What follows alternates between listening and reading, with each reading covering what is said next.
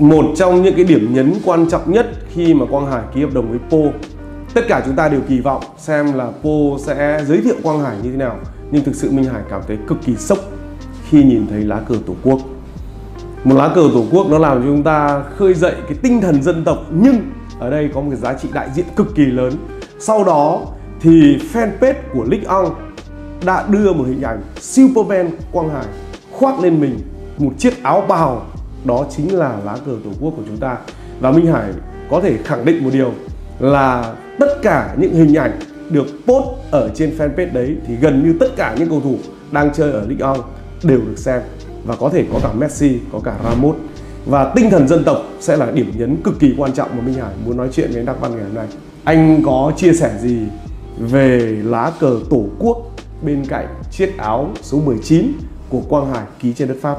Đầu tiên là cái cảm xúc của anh đã khi anh nhìn thấy hình ảnh đấy, em nói em đang nổi da gà. Thật sự cảm xúc thì nói như nào thực ra thực ra anh rất là xúc động khi mà em đang em hỏi anh cái câu hỏi đó. Bởi vì em biết rằng để mà Quang Hải ký được một cái hợp đồng cho một câu lạc bộ ở châu Âu một hợp đồng xanh chín cực kỳ khó. Đúng không? Và chúng ta đều đồng ý với nhau đấy là một quyết định thông minh khi mà chúng ta chọn Po lúc ấy anh nhớ là lúc 8 giờ hơn thì phải thì lúc ấy anh nhận được cái tin nhắn của Hải về và gửi cái ảnh đó về cho anh yeah. và một cái tin nhắn rất là rất là nhỏ thôi chú ơi xong hết rồi chú ạ con cảm ơn chú thì lúc ấy anh nói thực sự là tự nhiên mình ngồi lúc ấy nước mắt mình nó cứ chảy ấy. đúng như cái lúc mà thằng hậu ngày xưa lúc mà được họp báo ấy Vâng. thì đây nó cũng vậy và mình không ngờ được rằng cái ảnh đó gửi về lại có một cái lá cờ đỏ sao vàng ở trên đó Ừ. nếu mà anh nói thì mọi người bảo rất là nhiều người người ta bảo ơ ông này quốc tịch Đức thì liên quan gì đến cờ đỏ sao vàng nói thế chứ anh cũng là người sinh ra và lớn lên ở Việt Nam bố mẹ anh cũng là đúng không cũng Đúng. ở đây sinh ra và lớn lên đây và mình cũng rất là tự hào khi mà mình nhìn thấy cái lá cờ đỏ sao vàng đấy ở một buổi ra mắt một cầu thủ ở một câu lạc bộ bóng đá chuyên nghiệp chuyên nghiệp và cái hợp đồng đấy nó được ký với đúng nghĩa của nó là một hợp đồng Chuyên môn. chuyên môn đó, thì thật sự là lúc đó là rất rất là cảm động mà anh còn chẳng kịp hỏi là cái cờ ấy, đấy ở đâu ra cơ. bởi vì rằng lúc ấy là mình sướng quá, mình mình không mình nước mắt mình chảy nhưng mà mình vẫn reo mình gọi một chai rượu mình uống với anh em rồi nói chung là lúc ấy tất cả mọi Nhưng người bây giờ anh đã biết là lá cờ đấy từ đâu ra chưa? anh biết rồi Nó nó được chuẩn bị như thế nào? Anh có thể chia sẻ với mọi người. Vì nó là một câu chuyện em nghĩ là rất là cảm động. lá cờ đó nó được mang tới bởi, bởi một người Việt Kiều người Việt Kiều đó là bạn Phi Hùng và Phi Hùng là người đồng hành cùng với anh trong cái project này Vâng. anh không nói đây là anh chưa bao giờ anh nói đây là một, một cuộc chuyển nhượng. Vâng. mà anh luôn luôn nói với Phi Hùng chúng ta đang làm một cái project lớn. Và Phi Hùng là người đồng hành. Phi Hùng có bố là người Việt mẹ là người Pháp. Thì Phi Hùng là người thay mặt anh ờ, đứng cạnh Hải.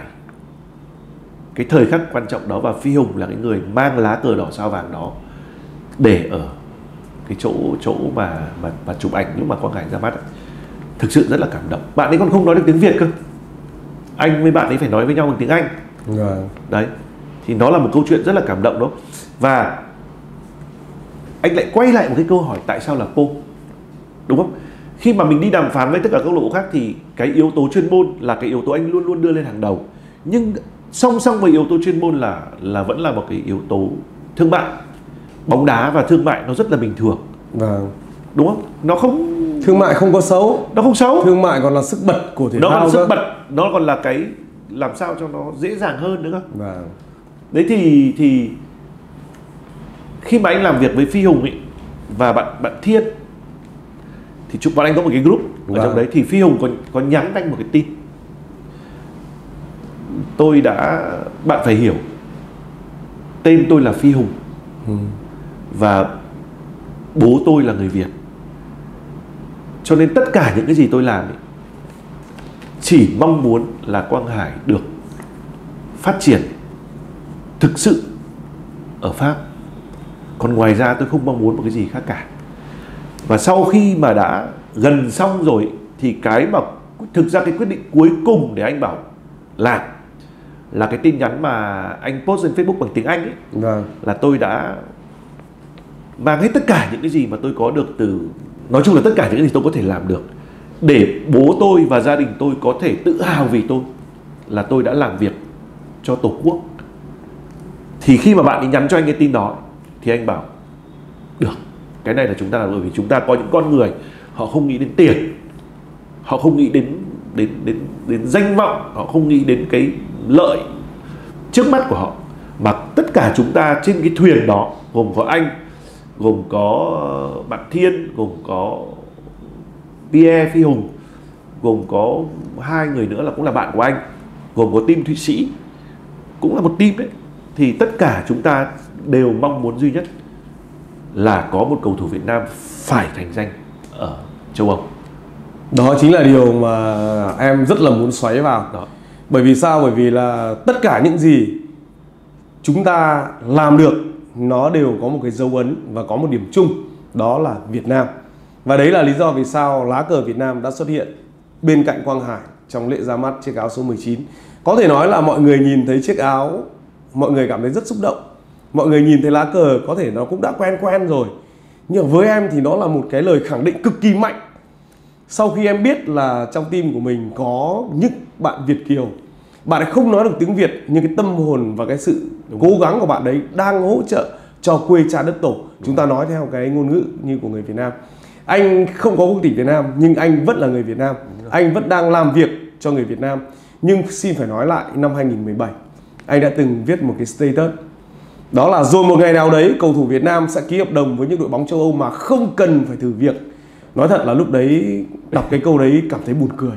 Đúng. Cảm thấy hơi ngạo mạn cảm thấy có một cái chút gì đấy nó tự tin theo cái cách không có cơ sở. Nhưng đến bây giờ nó có cơ sở rồi. Anh có thể chia sẻ về cái khát vọng Việt Nam ở châu Âu? Anh nếu mà anh muốn sống một cuộc sống bình thường ấy, thì có thể nói là hơn bình thường một tí mà không phải vất vả thì anh đâu có phải về Việt Nam để anh làm những cái việc này. Đúng không? Nhiều khi nó cũng là một cái duyên nhưng mà cái mà ở trong con người anh nó luôn luôn có một cái rất là rất là thôi thúc ấy, là luôn luôn mang những cái gì đó của Việt Nam ra với thế giới bên ngoài để giới thiệu với với bạn bè Nam Châu là chúng tôi không phải chỉ có chiến tranh với Pháp, chiến tranh với Mỹ đâu mà chúng tôi còn có những cái khác nó cũng rất là hay đúng không? Ví dụ như là những năm đầu những năm 2000 cuối những năm uh, 1990 mấy là của, của, của, của cái thập kỷ trước à? thế kỷ trước thế kỷ trước. Thì lúc đó không ai dám mở quán Việt Nam cả.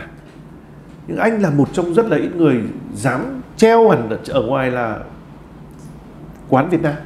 Việt Nam là bán đồ Việt Nam bán nem bán phở bán ờ, bò lá lốt bán bún thang tất cả các thứ ở một cái nơi mà hồi đó rất là nhiều người Việt Nam chỉ dám mở quán Thái quán Nhật quán Tàu nhưng chủ là người Việt Nam. Ừ. thì nhưng mà anh anh anh có một cái tự hào của anh bảo đồ Việt Nam rất là ngon. Đúng không? Đồ Việt Nam healthy đồ Việt Nam rất là ngon. Tại sao chúng ta lại phải đi mở những cái quán ở những chỗ khác khi chúng ta đi làm thuê cho họ và chúng ta về chúng ta mở. Mà khi mà trong khi đồ Việt Nam như thế chúng ta chúng ta chúng ta lại không làm như vậy được. Thực ra là đồ ăn Nhật cũng ngon, đồ ăn Thái cũng ngon Nhưng những ông chủ Việt Nam đấy có thể họ không có cái sự tự tôn. Và sự tự tôn dân tộc đang là điều mà chúng ta đang muốn nói ở đây. Anh mang trong mình dòng máu Việt Nam và anh muốn khẳng định nó, anh muốn định vị nó như nào trên bản đồ bóng đá của châu Âu?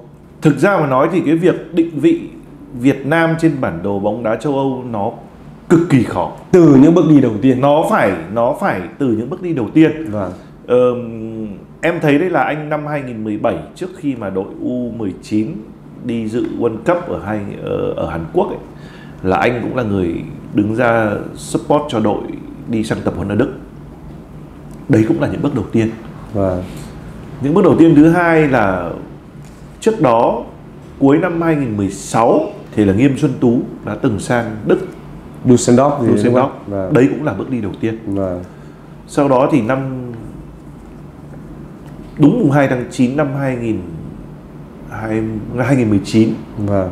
thì là Đoàn Văn Hậu qua Hà Lan. Vâng. Và bây giờ là Quang Hải. Vâng. Anh nghĩ rằng Nhật và Hàn Quốc họ cần phải cần rất nhiều thời gian họ cần rất nhiều tiền họ cần rất nhiều sự ủng hộ của những ông chủ lớn của những doanh nghiệp lớn và họ cũng phải gửi đi không biết bao nhiêu cầu thủ để họ mới được một ngày nào đó họ mới được Minamino vâng. họ mới được Sơn Hôi Min. Vâng. Đúng không? Thì với Việt Nam chúng ta chúng ta còn đi sau họ rất là lâu. Thì chúng ta đương nhiên cũng phải đi theo cái con đường đó thôi nó không có cách nào khác cả. Nhưng mà để mà được như bây giờ thì họ cũng phải khởi đầu từ cách đây 10 năm 15 năm 20 năm đúng không nhưng chúng ta không không làm thì sẽ không bao giờ có nếu Quang Hải không thành công thì sẽ rất lâu nữa mới có thể có một cầu thủ kế tiếp để có thể đi được hoặc là định hình cho bóng đá Việt Nam ở châu Âu. Như anh cũng đã nói nó nó khó khăn đến nhường nào. vâng Đấy, nhưng anh luôn luôn tâm niệm một điều rằng mình mình không đi thì mình không biết con đường nó dẫn sẽ dẫn mình tới đâu. vâng. Chỉ cần Quang Hải lăn tăn một phần trăm thôi sẽ không làm được. vâng. Và ngược lại nếu anh không tin vào Quang Hải Anh chỉ lăn tăn thôi Thì nó cũng sẽ không được. Tức là nó phải là một cái sự kết hợp Và một cái sự tin tưởng lẫn nhau 100% Không có một cái gì ở đó nữa. Tất cả những cái khác anh nói với Quang Hải là Từ ngay đầu năm ấy Anh nói là Năm nay chú sẽ gạt tất cả mọi chuyện Quan trọng nhất là việc của con Và chú sẽ tập trung chú làm việc của con Nhưng với Quang Hải, anh có một lòng tin và với sự lựa chọn của bạn ấy, anh có một lòng tin là bạn ấy sẽ sẽ ghi được dấu ấn còn cái dấu ấn đấy nó lớn như thế nào thì nó cần phải thời gian để trả lời Đúng rồi. Một, thêm một điều nữa, cũng gắn với người Việt Nam. Lúc đầu khi anh em mình tâm sự với nhau là sẽ có một ekip để hỗ trợ cho Quang Hải. Em nghĩ ngay đến một ekip Tây. Nhưng cuối cùng thì chúng ta đã chuẩn bị cho Quang Hải từ Việt Nam bởi những người Việt Nam. Ví dụ như là chuyên gia y tế hay là những người mà làm về thể lực, đã làm rất là tốt cho Quang Hải trong vòng 2 tháng dòng dã để bạn ấy có thể trở thành tất cả những gì mà mình cần là huấn luyện viên thể lực của chính bản thân mình, là chuyên gia dinh dưỡng của chính bản thân mình và đấy hoàn toàn là chất xám của người Việt Nam anh đánh giá như thế nào về tài năng của những người Việt Nam mà anh lại lựa chọn những người Việt Nam để hỗ trợ cho Quang Hải trong một chuyến đi mà tất cả chúng ta đều đặt rất nhiều sự kỳ vọng chúng ta có thể làm được những việc mà mà trên thế giới người ta cũng cũng làm được. Anh tin rằng người Việt Nam mình rất là giỏi. Cái quan trọng ở đây là mình mình làm sao mình phải tìm được một cái ekip nó phù hợp. Chứ còn bây giờ để mà kiếm một chuyên gia thể lực người nước ngoài ở Việt Nam không không phải là không có, đúng không? Hay là kiếm một chuyên gia về dinh dưỡng. Thế nhưng mà cái mà anh anh anh anh luôn luôn muốn ở đây ấy là mình phải làm những cái gì để tìm cho Quang Hải những cái điều kiện tốt nhất để bạn ấy có thể hấp thụ được nhanh nhất để bạn ấy tiếp thu được nhanh nhất và tất cả mọi việc nó không thể nhanh được nó cũng phải từ từ từ Em thì em thấy là nó rất là phù hợp vì Quang Hải lúc đấy đang đàm phán những cái việc mà chúng ta cần phải tập thể lực là cái việc chúng ta phải làm ngay. Đúng. Chúng ta phải làm ngay về dinh dưỡng bởi vì nếu mà tập thể lực mà dinh dưỡng nó không theo kịp thì nó cũng không thể nào lên được. Thì chúng ta đã có sự chuẩn bị ngay từ đầu. Và đấy đều là những người những người làm việc với Quang Hải đều là những người Việt Nam nhưng họ là những người Tây học. Đúng. Tức là những người mà họ có những cái tư duy. Họ có tư duy của Họ người Tây duy của người Tây. nhưng họ lại có cái cách và cái văn hóa truyền tải của người Việt Nam. Đúng rồi. Và nó sẽ tạo ra ra một cái rất là em thấy rất là đồng bộ. Em cảm thấy xúc động nhất chính là lá cờ tổ quốc. Khi mà Lick On đã đưa cái hình ảnh của một Superman Việt Nam trên một chiếc áo bào có lá cờ tổ quốc. Đấy là sự ghi nhận. Đây không phải là cái câu chuyện mà giữa ông Minh Hải với ông Đắc Văn ngồi nói chuyện với nhau nữa rồi. Và đây là ở cái tầm của giải vô địch Pháp, nơi mà Messi là Ramos là Di Maria đang chơi. Anh chỉ nói với Hải là như này này, thực ra nhiều khi mình mình, anh không buồn nhá. Anh không buồn, anh chỉ thấy buồn cười là bởi vì người Việt Nam chúng ta hơi tự ti. Đúng không? Hơi tự ti quá cứ khi mà người ta làm bất kỳ một cái việc gì thì trước mắt là cứ phải lên chê trách đã. Bây giờ bây giờ trong cái trong cái việc của Quang Hải như này ví dụ như anh ký cho bạn ý đá ở Paris Saint-Germain đi. Ví dụ như thế đúng không? Một lý do nào đó. Thì tất cả đều bảo wow tuyệt vời rồi này nọ. Nhưng lại mài Đụng quần trên cái dự bị. đúng không?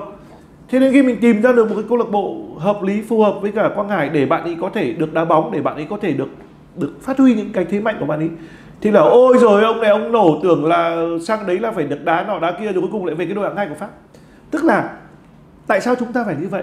Đúng không? Chúng ta cũng cũng chúng ta cũng như như, như người người ta thôi đúng không? Thì bây giờ tự hào dân tộc nó là một cái gì đó nó nó rất là cao cao cả nó rất là thiêng liêng đúng không? Ví dụ như ngày xưa anh ở quán của anh bên kia anh cũng treo cờ đỏ sao vàng. Ừ. anh cũng để mũ cối anh cũng để huân chương tức là anh cũng mua những cái đấy về để anh để. Thì nếu mà chúng ta tất cả chúng ta đều tự hào dân tộc và chúng ta dám làm nhé anh tin chắc chắn là chúng ta sẽ còn thành công nhiều hơn nữa trên những những những cái không chỉ ở thể thao đâu nó còn rất là nhiều những cái khác nữa. Vâng. và chúng ta anh nghĩ rằng chúng ta phải phải động viên và phải vui thì mới phải. Bởi vì rằng chưa bao giờ anh chắc chắn là chưa bao giờ bóng những cái tờ tạp chí nổi tiếng của châu Âu như của Tây Ban Nha, tờ Marca như của Ý, như của Pháp. Lê Quyếp của Pháp đưa đầu tiên. họ nhắc đến bóng đá Việt Nam. Vì vì lý do gì mà mình không phải mất tiền mà họ lại nhắc đến bóng đá Việt Nam? Đúng không? Có thể là Messi thì hơi quá bởi vì Quang Hải chưa bao giờ tự nhận mình là Messi. Đúng. đúng không? Nhưng họ nói đến điều đó là họ đã có sự so sánh. Đúng không em đấy là một thì mình phải tự hào vì điều đó chứ. Cái thứ hai nữa anh tin ý, nó là một cái thuận lợi rất lớn cho Quang Hải Vâng. khi mà bạn ấy được ra sân thi đấu bạn ấy tập luyện tốt bạn được ra sân thi đấu thì vô hình chung đấy là những cái quảng cáo vô giá cho Quang Hải ở châu Âu. Với giá không đồng. Không đồng. Và cho cả bóng đá Việt Nam cho nữa. cả bóng đá Việt Nam đúng chưa tự nhiên là có League League ăn nhìn vào này, tự nhiên là có giải Serie A nhìn vào này, tự nhiên có La Liga nhìn vào này, tự nhiên là có giải của Áo nhìn vào. Tất cả những câu lạc bộ mà anh đàm phán họ đều nhìn vào và anh đều cảm ơn họ. Và họ cũng đều có những cái rất là lịch sự và họ nói là rất là tiếc. Nhưng mà thôi thì à, cầu thủ họ đã quyết định như vậy thì thì có thể một ngày nào đó chúng ta sẽ gặp lại nhau. Đấy, có thể là với Quang Hải, với một cầu thủ nào khác. Thì đấy nó cũng là những cái cánh cửa nó mở ra Vâng. cho rất là nhiều những cầu thủ về sau ở Em thì em thích một cái hình ảnh à, nó khá là mang tính tượng trưng, nó là một cái cây cầu. Cái cây cầu bắc giữa bóng đá Việt Nam và bóng đá châu Âu nó đang được xây dựng bởi những người như là Công Vinh, bởi những người như là Tuấn Anh, Công Phượng, Xuân Trường rồi rất nhiều những anh em khác để ra nước ngoài. Nhưng bây giờ hiện nay nó đang bị tắc ở một vài nhịp và chúng ta mong muốn là Quang Hải cũng là một cái nhịp đó. Về sau còn Văn Hậu còn các lứa đàn em nữa thì chúng ta mới sang được để có những cầu thủ như là Kagawa, Minamino thì ngày xưa Nakata, Nakamura cũng đã từng cách đây hai chục năm rồi. Đúng rồi. Nên chúng ta phải bắt buộc bắt đầu từ những con đường, từ những cái bước chân đầu tiên, từ những nhịp cầu đầu tiên. Nhưng cái điều quan trọng ở đây ấy là chúng ta đang có rất nhiều sự thuận lợi. Em nghĩ là Po đang là một cái địa điểm cực kỳ là phù hợp với Quang Hải và hiện nay cả châu Âu họ đang đánh động cho người hâm mộ, cho các câu lạc bộ, cho các tuyển trạch viên về một tài năng của Việt Nam đang có mặt ở Pháp. Điều đấy là điều cực kỳ quan trọng. đúng rồi Bây giờ thì người hâm mộ bóng đá Việt Nam rất là quan tâm là Quang Hải bây giờ đang như thế nào.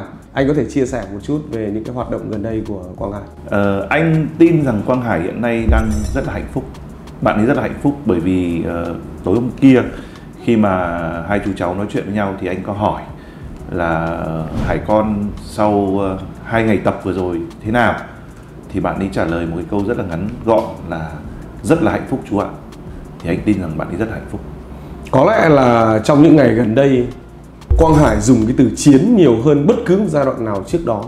Anh có cảm nhận được một cái tinh thần chiến binh của Quang Hải nó đang lên cao hơn bao giờ hết không ạ? chắc chắn là như vậy bởi vì rằng ờ, Ờ, Quang Hải cũng đã xác định rất là rõ ràng là khi mà bạn đi sang châu Âu thì không có con đường nào khác là bạn ấy phải chiến.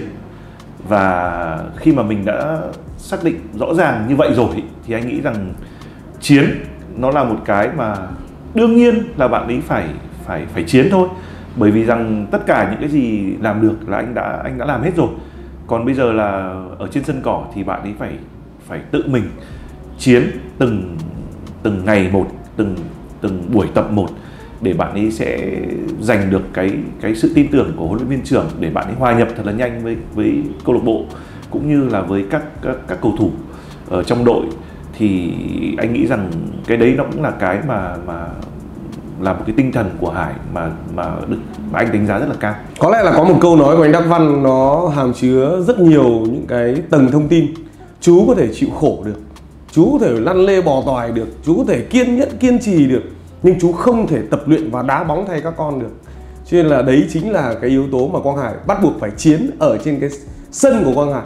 Vậy anh đã chuẩn bị cho Quang Hải một cái nền tảng như thế nào trên đất Pháp ạ? Quan trọng nhất là anh luôn luôn luôn luôn nói với Hải rằng con nên là học ngoại ngữ, bởi vì ngoại ngữ nó cũng là một cái chìa khóa để nó mở một cái cánh cửa dễ hơn cho mình khi mà mình đến một cái vùng đất mới đấy là một cái thứ hai là um, như em cũng đã biết rồi bóng đá châu âu nó rất là khắc nghiệt.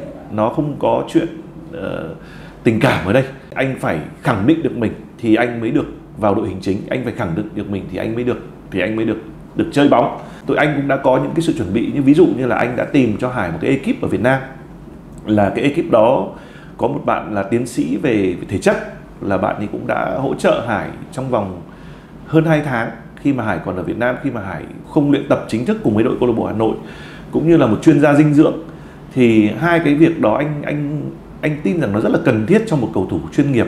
Bởi vì thứ nhất ý là Hải khi mà tập cùng một chuyên gia về thể chất, thì bạn ý, thứ nhất là là là bạn ấy phải hiểu về cái về cái cơ thể của bạn ấy ví dụ như là từ trước đến nay bạn làm mọi việc rất là tốt, có thể là bạn ấy may mắn bạn ấy không bị chấn thương, nhưng mà khi mà bạn ấy đưa, có một cái người mà đưa cái khoa học vào cái câu chuyện thể chất thì bạn ấy có thể tránh được rất là nhiều cái. Ví dụ như là cái cách bạn ấy di chuyển ra làm sao rồi là cái cách mà làm sao để có thể hạn chế được chấn thương. Cộng thêm nữa rằng khi mà anh ở Hà Lan ấy, thì anh có được tham gia một số những cái khóa học về về dinh dưỡng thể thao thì họ cũng cũng cũng giải thích ngay rất là rõ ràng. Thứ nhất là dinh dưỡng thể thao ở đây là gì? Không phải là là chỉ có ăn để cho nó nó khỏe để chỉ có ăn để cho nó cơ bắp. Mà dinh dưỡng thể thao ở đây là khi mà con người ta đủ chất ý, thì cũng là một phần để hạn chế được những cái chấn thương không cần thiết. Bởi vì khi mà mình chỉ bị chấn thương khi mà mình yếu thôi, đúng không? Chứ còn khi mà mình mình mình khỏe thì thì cái cái cái cái việc mà mình bị chấn thương nó cũng sẽ hạn chế được đi rất là nhiều. Thì đấy là anh đã có hai bạn đó để mà hỗ trợ cho cho cho Hải về cái việc là, thứ nhất là về thể chất, thứ hai là về về về về về ăn uống. Quan trọng hơn ở cái việc ăn uống ở đây là gì? Là Hải sẽ phải, sang bên đó Hải sẽ phải tự lập. Hải sẽ phải tự nấu ăn, Hải sẽ phải tự đi chợ cũng như là là trước ở bên Hà Lan hậu cũng vậy.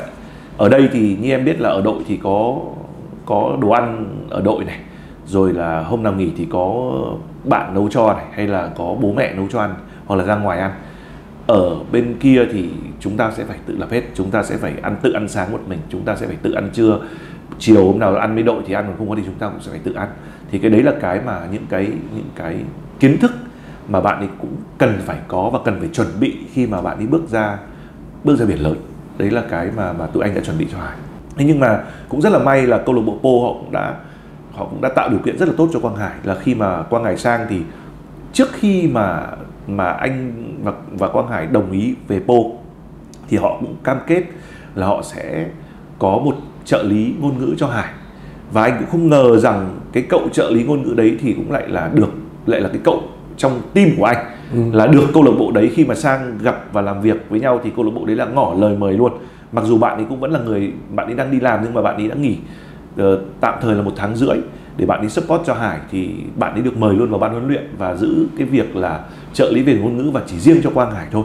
Đúng thực ra mà nói thì cầu thủ thì cũng phải hiểu được huấn luyện viên họ muốn gì trong lúc họ đang thắng 1-0 thì như thế nào trong lúc họ đang họ bị gỡ hòa thì ra làm sao và lúc thua rồi thì phải chơi theo chiến thuật nào thì anh nghĩ nó rất là quan trọng cho yeah. Vâng. cho những cầu thủ một điều nữa em muốn hỏi anh Đắc Văn là hiện nay anh đã chuẩn bị như nào cho Quang Hải từ cái ờ, nhà cửa cho đến chế độ dinh dưỡng cho đến rất nhiều những cái yếu tố nó mang tính quyết định cho Quang Hải trong cái giai đoạn đầu của sự hòa nhập. Anh đã chuẩn bị được một cái việc là là là đã, đã, đã sắp xếp được một cái team ở bên Pháp rất là mạnh và họ cũng ngoài cái việc là họ muốn muốn hỗ trợ Quang Hải ra thì người ta cũng muốn là làm sao để để một cầu thủ Việt Nam được được có những cái điều kiện tốt nhất, được hỗ trợ tốt nhất để có thể tập trung vào bóng đá và có thể thành danh được ở ở ở, Pháp. Vâng. Thì đấy thì thì, thì uh, thực ra thì khi mà Quang Hải đến một câu lạc bộ châu Âu ấy hay hay Văn Hậu cũng vậy thôi thì trước tiên là sẽ ở tạm một cái khách sạn cái khách sạn đó thì sẽ do câu lạc bộ chỉ định. Cái khách sạn đó có một cái hợp đồng gì đó với câu lạc bộ. Thì các cầu thủ sẽ ở tạm đó cho đến khi mà tìm được nhà. Tìm được nhà ở đây thì nó cũng rất là đơn giản thôi. Thực ra thì câu lạc bộ thì họ cũng có rất là nhiều những cái những cái nhà ở ở bên đó để cho các cầu thủ thuê. Ví dụ như em thấy là năm nay năm nay Po là cũng đi đến 90 cầu thủ chẳng hạn. Thì các cầu thủ đó khi mà đến Po thì họ cũng thuê nhà họ ở. Và ngược lại những cầu thủ đó sẽ đi thì khi cầu thủ đó sẽ đi thì những cầu thủ mới đến sẽ sẽ sẽ được câu lạc bộ dẫn đi xem một số những cái nhà mà họ đã thuê cho các cầu thủ trước ở đó. Nếu mà mình ưng ý thì mình có thể thuê lại mà mình không ưng ý thì mình có thể đi tìm những cái nhà khác. Và ở đây bóng đá châu Âu nó khác bóng đá châu Á. Ở chỗ nhà anh cũng anh cũng đã đàm phán rất nhiều với các câu lạc bộ châu Á. Thì khi mà sang Thái Lan chẳng hạn hay là khi mà sang Nhật Bản chẳng hạn thì cái việc nó như bao cấp ấy, là ở trong những cái hợp đồng thỏa thuận là đều có là câu lạc bộ sẽ lo nhà lo xe nhưng mà ở châu Âu thì hoàn toàn không như vậy. Ở ở châu Âu là em lĩnh một khoản lương còn nhà và xe thì em sẽ phải tự lo. Nhà thì có thể em thích ở nhà hai phòng cũng được mà em thích ở villa cũng được cái đấy là tùy tùy theo thu nhập của em và tùy theo cái nhu cầu của em đúng không? Còn uh, xe thì tất cả các câu lạc bộ ở châu Âu họ đều ký một cái hợp đồng uh, tài trợ với một cái một cái nhãn xe nào đó. Thì tất cả các cầu thủ đều không được cấp xe nhá mà đều phải đều phải tự mình bỏ tiền ra để như người ta gọi là thuê xe ừ. tức là trong vòng một năm hai năm uh, với một với một cái giá rất là hợp lý ưu đãi. giá ưu đãi vâng. để chúng ta sẽ sử dụng cái xe đó. Bây giờ thì Quang Hải đang ở trong một cái khách sạn như thế nào? Và cái cuộc sống của bạn đấy hàng ngày bây giờ đang như thế nào? Có gặp khó khăn gì về thời tiết về múi giờ đồ ăn thức uống không? Hoàn toàn không. Quang Hải là một người mà anh nghĩ rằng bạn ấy thích nghi khá nhanh. Cộng thêm nữa là bạn ấy là một người rất là thông minh. Ờ, lúc mà bạn ấy sang bên pháp với anh cái đợt đầu tiên để mà đi đến gặp ờ, một số câu lạc bộ bên đó thì anh rất là ngạc nhiên là chỉ trong vòng có chưa đầy một tuần là bạn ấy đã nói được những cái tiếng những cái từ tiếng pháp thông thường rồi. Còn cái khách sạn mà bạn ấy ở ở Po ấy thì cũng là cái khách sạn mà anh và bạn ấy khi mà đến Po câu lạc bộ họ đá tức là khi mà đến đến để để đàm phán ấy thì câu lạc bộ họ cũng đã bố trí cho ở khách sạn đấy rồi. Là một khách sạn rất là tốt rất là sạch sẽ có ăn uống ở dưới theo một cái standard rất là rất là rất là tốt. Quang Hải có tự nấu ăn không ạ? Ở khách sạn thì không. Ở khách sạn thì bắt buộc là bạn ấy phải ăn theo ví dụ như ăn sáng thì họ sẽ có một cái một cái buffet rất là đầy đủ. Tất cả các thứ mà mà mà chúng ta có thể ăn thoải mái được. Đấy còn uh, buổi trưa thì bạn ấy nếu mà bạn ấy đi tập chẳng hạn thì bạn ấy sẽ có một bữa ăn chung với với với đội và có, sẽ có đầu bếp của đội nấu riêng cho đội. Còn buổi chiều thì bạn ấy, nếu mà bạn ấy không tập thì bạn ấy về bạn cũng sẽ phải tự, bạn ấy ăn uống. Thì trong thời điểm hiện nay thì thì bạn ấy sẽ sẽ tự ăn uống. Tức là tự có thể là ra ngoài ăn ở các cái quán ở ngay ngay gần đó. Thì ở thành phố Po nó cũng rất là nhiều quán quán châu Á. Và ngay cái đợt mà anh và Hải sang là hai chú cháu cũng đã từng đi ăn những cái quán châu Á rồi. Để bạn ấy có thể là nếu mà thèm cơm hay là hay là nhớ đồ ăn châu Á thì bạn ấy có thể ăn được luôn cũng ngay gần đó thôi. Ở bên đó bạn ấy có một bạn tên là bạn Thiên. Bạn Thiên thì là cái người hiện nay đang là trợ lý ờ, ngôn ngữ của của câu lạc bộ và cũng là cái người trong team của anh. Thì hiện nay là bạn Thiên là cái người ở cùng Quang Hải ờ, uh, 24 trên 24 tức là là ăn cùng ngủ cùng. Thì cái tin mà Hải nhắn cho anh làm cho anh rất là vui ấy uh, anh Thiên anh cứ kèm con như thế này thì chắc là con hòa nhập với cuộc sống ở đây nhanh lắm. Ừ. đấy thì Thiên là một người cũng cũng đã sống ở ở Pháp cũng đã lâu và cũng là bạn ấy là kỹ sư kỹ sư về về vật lý nguyên tử. Bạn ấy làm cho một cái hãng của pháp. Thế nhưng mà bạn ấy đã xin xin uh, công ty là được phép uh, làm việc ở nhà và bạn ấy cũng open luôn cái câu chuyện là là bạn ấy muốn làm như thế để bạn ấy giúp đỡ Quang Hải. Thì giám đốc công ty cũng là một người rất là mê bóng đá, thì họ đồng ý luôn. Thế thì nó có rất là nhiều những cái thuận lợi là là là trong thời điểm hiện tại để Hải có thể hòa nhập được. Có rất là nhiều sự quan tâm từ phía câu lạc bộ, từ phía người hâm mộ, rồi kể cả là từ phía phía team của anh thì là có những người mà anh có thể tin tưởng 100% được. Ví dụ buổi tập gần nhất, một bàn thắng, một kiến tạo. Anh là một người rất là gần với Quang Hải anh cảm nhận như nào về cái sự hồ hởi của bạn đấy cái sự hòa nhập nhanh của bạn đấy và kể cả là những cái thành công bước đầu trong những cái buổi tập? Bạn ấy là một người rất là khiêm tốn và cũng không phải là cái người mà mà mà nói nhiều. Thì bạn ấy luôn luôn nói với anh là uh, chú đã làm tất cả mọi việc mà chú có thể làm được rồi. Thì bây giờ cũng là đến lúc chú cần phải nghỉ ngơi một chút còn bây giờ, đến bây giờ là phần của con. Thì đấy là những cái mà mà làm cho anh rất là rất là rất là vui. Thứ nhất là mình rất là vui. Cái thứ hai là mình cũng rất là tin tưởng là cái quyết định này không hoàn, một là không phải là của mình hoàn toàn. Cái quyết định này là cái quyết định của Quang Hải. Thứ nhất là bạn ấy rất là hài lòng. Bạn rất là hài lòng với những gì bạn ấy đang đang đang có. Cái thứ hai là bạn ấy rất là hạnh phúc với những cái việc mà bạn ấy đang làm. Và bạn ấy cũng rất là thích cái khí hậu ở Po Po là một thành phố rất là nhỏ thì đấy nó cũng là một trong những cái cái lý do là khi mà anh nói chuyện với Quang Hải là nó cũng có một chút gì đó gọi là thuyết phục ấy. anh nói rằng ở đây nó xa với Paris nó xa với Monaco xa với Barcelona nó chỉ là một thành phố nhỏ một câu lạc bộ khiêm tốn. Mình không dùng từ nhỏ mình dùng là từ là khiêm tốn. Thì ở đây là là cái chỗ mà con có thể tập trung toàn bộ vào chuyên môn. Con tập con tập và con sẽ làm sao để con được chơi bóng. Và con sẽ không phải phân tâm cái việc là ở hôm nay uh, có người này đến Paris thì phải đưa người ta đi chơi hay là hôm nay có uh, sinh nhật ông này rồi ngày mai đám cưới ông kia. Đúng không? Ít nhất là trong cái thời gian từ giờ đến cuối năm là bạn ấy chỉ tập trung vào, vào bóng đá thôi. Thì anh nghĩ rằng đấy là một cái mà một cầu thủ chuyên nghiệp rất là cần. Bây giờ đã có rất nhiều người hâm mộ đến xem vô tập và cũng càng ngày càng nhiều hơn những người gọi tên Quang Hải bao gồm cả những người gọi tên Quang Hải bằng giọng Tây anh cảm nhận như nào khi anh nghe và anh xem những cái clip như thế ở trên trang chính chủ của Po cũng như là Quang Hải có tâm sự gì với anh về điều đó hay không? Thực ra thì thì anh nghĩ rằng với Quang Hải thì nó là một cái điều mà cũng hơi bất ngờ. Bạn ấy đã quá quen ở Việt Nam rồi đúng không? Khi mà bạn ấy tập hay là bạn ấy đá với đội tuyển, kể cả với câu lạc bộ Hà Nội thì bạn ấy cũng thường xuyên được những sự quan tâm của fan hâm mộ nhưng mà sang Pháp trong một thời gian ngắn như vậy thì thì bạn ấy cũng cũng thực sự đó cũng là cái sự bất ngờ. Và bạn ấy cũng cũng có tâm sự với anh. Bạn bảo là con cũng không nghĩ rằng mọi chuyện nó cũng nhanh như thế. Thực sự là một một phần ý, thì anh anh vui. Nhưng phần kia thì anh hơi lo. Bởi vì rằng khi có những cái sự quan tâm thái quá thì tự nhiên nó sẽ có một cái gì đó làm ảnh hưởng. Bởi vì rằng các cầu thủ khác họ nhìn vào thì họ sẽ họ sẽ nghĩ rằng ví dụ như Quang Hải là một người kiệt xuất là một người thật sự tốt đã từng đá với đội một vài tháng đã từng đã assist hoặc ghi bàn hoặc là đã giúp đỡ đội hoặc đội có thành tích tốt cái chuyện đó nó không không không không thành vấn đề thế nhưng mà bây giờ nó đang rất là mới đúng không rồi cộng thêm nữa rằng cái sự quan tâm đấy nó xảy nó nó nó nó nó nó còn trên cả cái sự quan tâm nữa là Hải nó khi mà nó tập xong nó cũng muốn có những nó có những cái thời gian riêng bị làm phiền đúng không? Đúng. Ý anh nói là bị làm phiền đúng. đúng không? Ví dụ như thế, ví dụ như là anh cũng thấy rằng cũng có những người mà người Việt Nam mình ấy, ờ, vào hẳn phòng thay đồ của của của của câu lạc bộ Po để chụp ảnh để quay phim để để post trên mạng xã hội. Thì anh anh anh thấy những cái chuyện đó là những chuyện không nên. Có thể là chúng ta vui cái đấy anh anh không anh không nói là xấu. Chúng ta vui chúng ta phấn khích vì có một cầu thủ Việt Nam.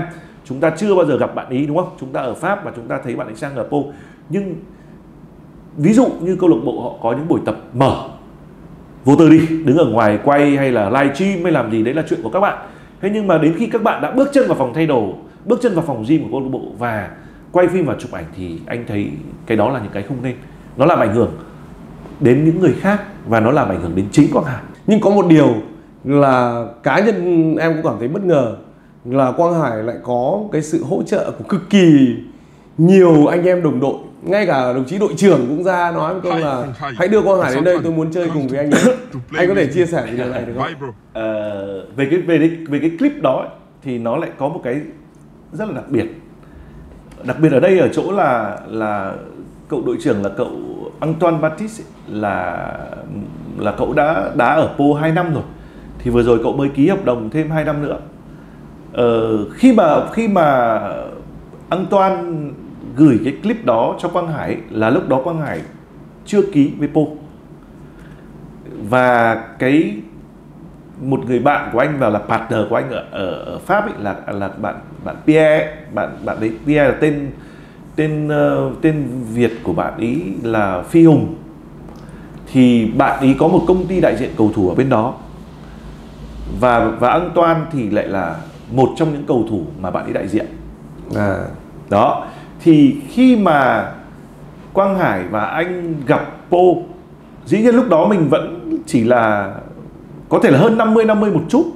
Nhưng mà sau khi mình được sau khi bạn ấy gửi cho cái cái cái clip đó và bạn ấy nói là uh, hello Quang Hải welcome to Paul and play with me.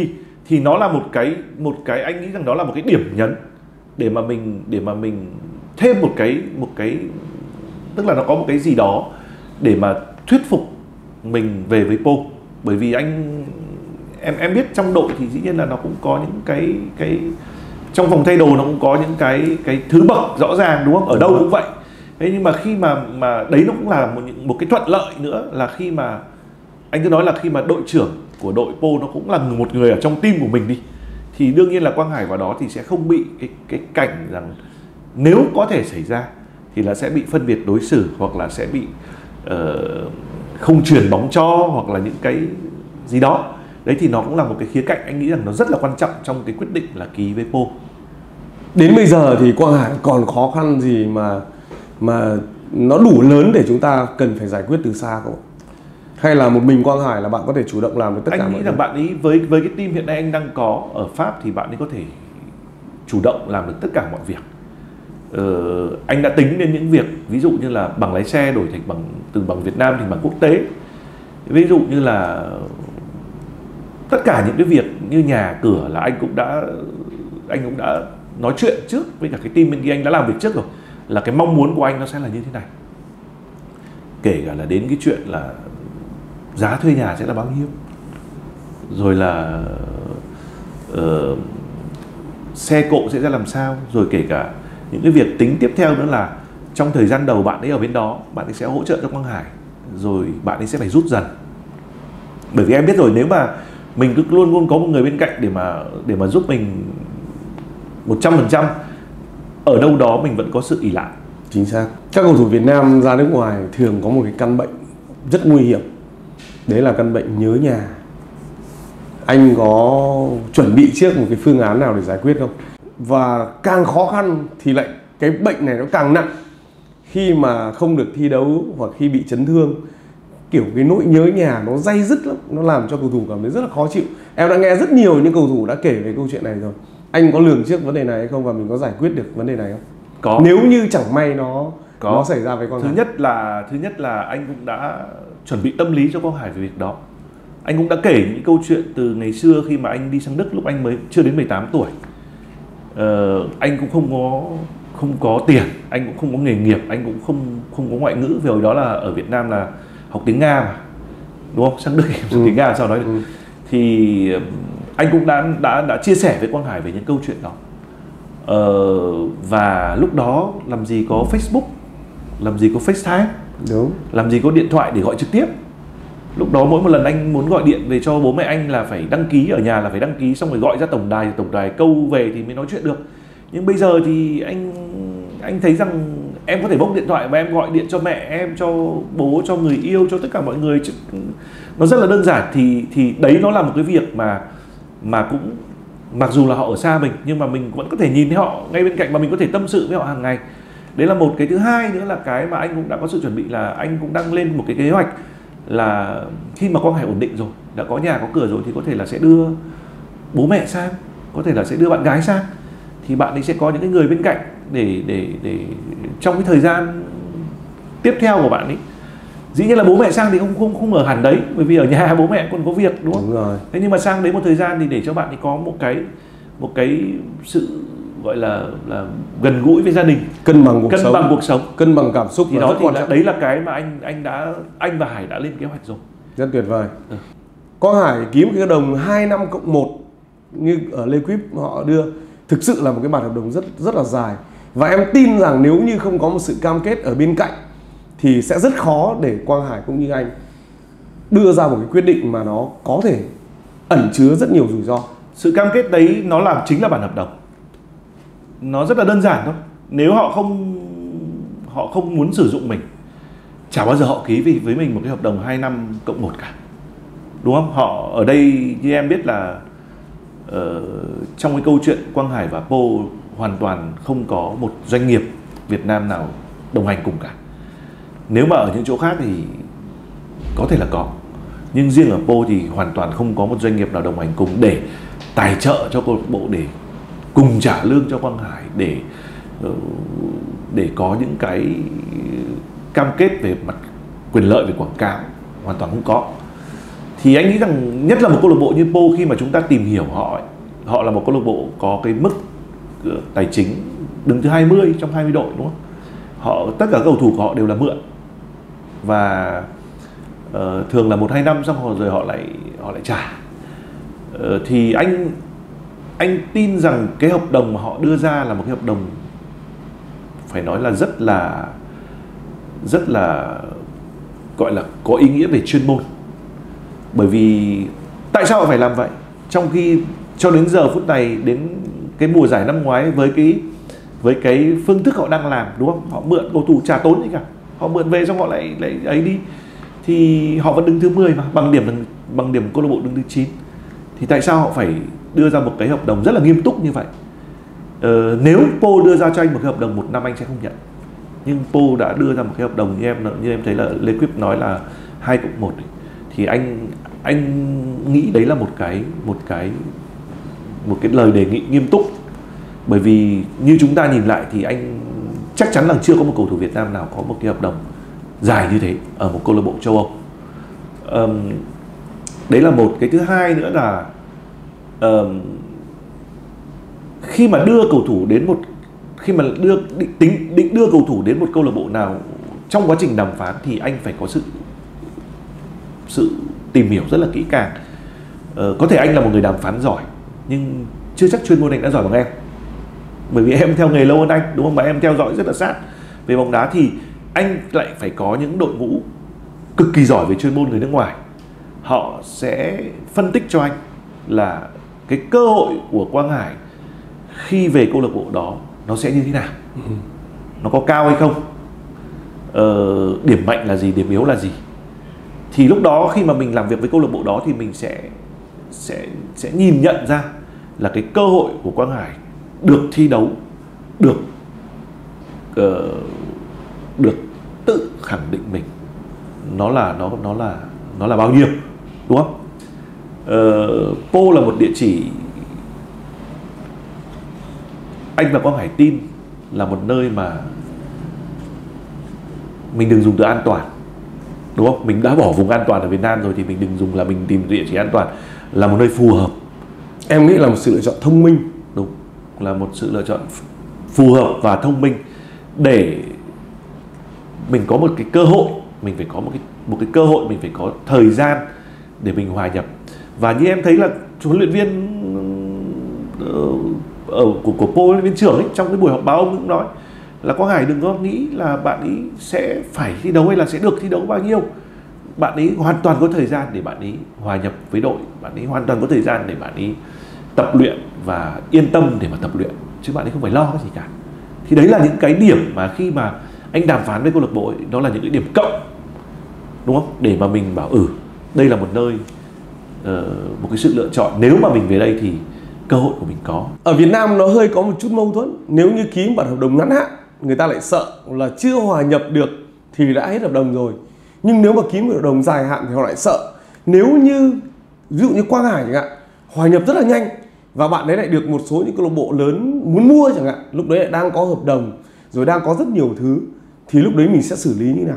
Mình có một cái cái sự linh hoạt nào trong cái cách rất là đơn xử lý hợp đồng giữa anh với ông chủ tịch rất là đơn giản em thực ra mà nói thì chúng ta đang nói chuyện về bóng đá và bóng đá chúng ta phải phải thừa nhận nó là business nó là một yeah. Dạ. một một cái ngành kinh doanh ngành kinh doanh vâng. đúng không ờ, anh nói ví dụ mình mình mình mình mình đang nói vui với nhau đúng không ví dụ như bây giờ ở Việt Nam thì anh anh anh thôi mình mình để sang một bên đi nhưng ở nước ngoài thì ở trong tất cả các hợp đồng nó đều có những cái điều khoản là uh, tôi ký với anh một hợp đồng 5 năm nhưng nếu mà có một câu lạc bộ giả với anh giả chúng tôi một cái số tiền thì anh được phép đi. Fair. Đúng không? Đúng đấy rồi. là đấy là chúng ta rất là đúng không? Tôi mua ông về một triệu tôi mua về tôi mua ông về đây một triệu tôi giả lương cho ông tổng tổng tất cả các thứ thuế má rồi. ABC là là 3 triệu. Nhưng nếu thằng kia nó giảm 10 triệu thì ông được đi. Bình thường mà. Và ngược lại với Po cũng vậy. Đúng không? Bây giờ họ lấy Quang Hải về uh, với một số tiền nhất định nhưng nếu có một đội Ligue, Ligue Ăn hoặc một đội ở Tây Ban Nha hoặc một đội ở ở ở ở đâu đó mà đến và đặt vấn đề với họ là họ sẽ giả Quang Hải giả giả họ một số tiền để họ họ đưa Quang Hải đến đội của họ. Dĩ nhiên là họ sẽ phải có những cái đãi ngộ cho Quang Hải khác đúng không? Thì đương nhiên là Po sẽ bán. Em thấy như là cái cầu thủ cầu thủ số 19 năm ngoái đấy Lobry đấy. Ừ. họ đưa về trước đây một năm rưỡi với giá với giá trị chuyển nhượng là 150.000 euro và năm nay cầu thủ đó đi với giá trị chuyển nhượng là một triệu rưỡi. Và họ không được hưởng một đồng nào ở cái một triệu rưỡi đó cả. Thì bây giờ ở trường hợp Quang Hải họ sẽ làm một cái câu chuyện khác. Là họ sẽ ký một cái hợp đồng dài hạn đúng không? Ví dụ như sau một năm Quang Hải có một đội nào đó quan tâm đến và đặt vấn đề mua với một cái số tiền tại sao không? Tức là họ đã đánh giá Quang Hải ở một cái cái cái, cái khả năng thành công rất là cao. Cho nên họ đã ký hợp đồng dài hạn Đúng. để tránh cái việc là cầu thủ thi đấu thành công xong lại mất trắng đúng.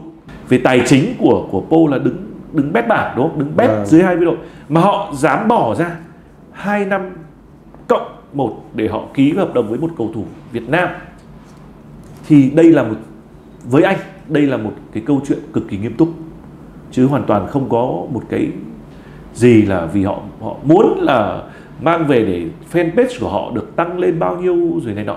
Anh cũng nhấn mạnh một một điều ấy là thực sự nhé trước khi có cái làn sóng của Việt Nam tràn vào trang trang của Po ấy, Po hoàn toàn không biết sự ảnh hưởng của Quang Hải lớn như vậy.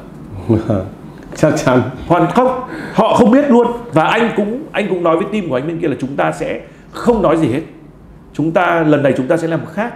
Ví dụ như những người khác thì bảo ừ thôi chúng ta sẽ cùng câu lạc bộ chuẩn bị với câu lạc bộ về uh, quản lý fanpage rồi là này nọ. Anh bảo không chúng ta hãy để tất cả mọi chuyện nó tự nhiên như nó đến là như vậy và chúng ta sẽ tạo cho họ một sự bất ngờ tạo cho họ một sự bất ngờ và anh nghĩ sự bất ngờ này với nhiều người nó là nó là có thể nó là negative nhưng mà anh nghĩ rằng nếu mà mình nghĩ nó positive thì nó là positive và cuối cùng thì nó là positive đúng không cuối cùng nó là rất lạc quan nó rất rất lạc quan nó... bởi vì bởi vì nó là một cái bonus mà họ vâng. không thể tưởng tượng nổi là tự nhiên Po là được tất cả các báo chí ở ở ở, ở Pháp nói đến ừ. tự nhiên Po là được được 95 triệu người ở Việt Nam nói đến anh chưa ai biết Po là, là ở đâu đúng không? Và ngược lại là họ cũng người Pháp ấy thì họ có một cái là họ rất chill họ rất là là là là là, là người Pháp là họ khó mình lắm. À. ờ, thì họ cũng cũng cũng cũng lấy cái đó là họ họ họ, họ vui thôi. Nhưng mà em thấy không?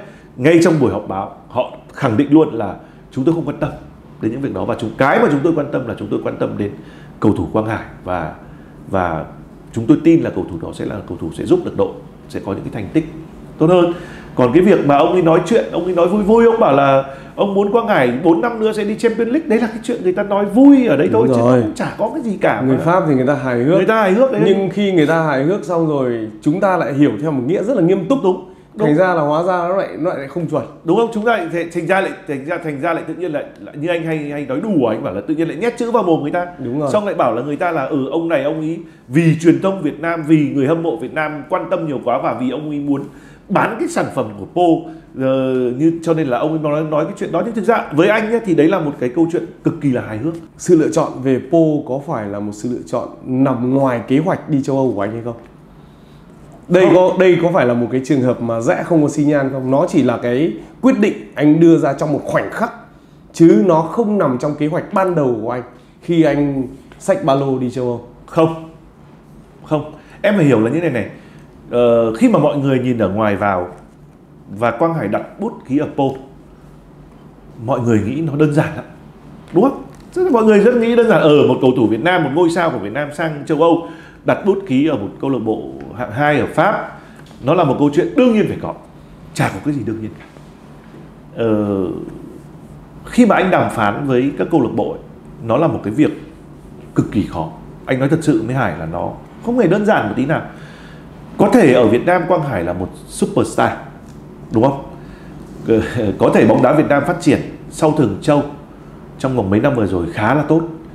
Nhưng mình phải thừa nhận với nhau rằng khi mà bóng đá Việt Nam sang lục địa già sang châu Âu. Bóng là con số không? Là con số không. Cái đấy là chắc chắn ờ, rất nhiều người rất nhiều chuyên gia của nước ngoài khi mà anh đưa cái cái cái clip giới thiệu Quang Hải thì họ đều nói là chúng tôi không biết bạn này là ai. Mình phải thừa nhận với nhau mặc dù là mình cứ nói là ở ừ, Messi 1 m 70 Marco Verratti 1 m 65 đúng không? Nhưng ở trong bóng đá nhất là bóng đá bây giờ họ cần những cầu thủ cao to họ cần những cầu thủ có sức mạnh đúng không? Thì Quang Hải có một cái một cái thiệt thòi một chút là bạn ấy cái thể thể hình với cái chiều cao của bạn ấy không không lớn bạn có mét sáu tám đúng không? Và có một cái cực kỳ khó anh phải nói là cực kỳ khó là tuổi. Rất khó luôn bởi vì các câu lạc bộ nước ngoài khi mà họ nhìn thấy một cầu thủ 21, 22 maximum với họ là già rồi.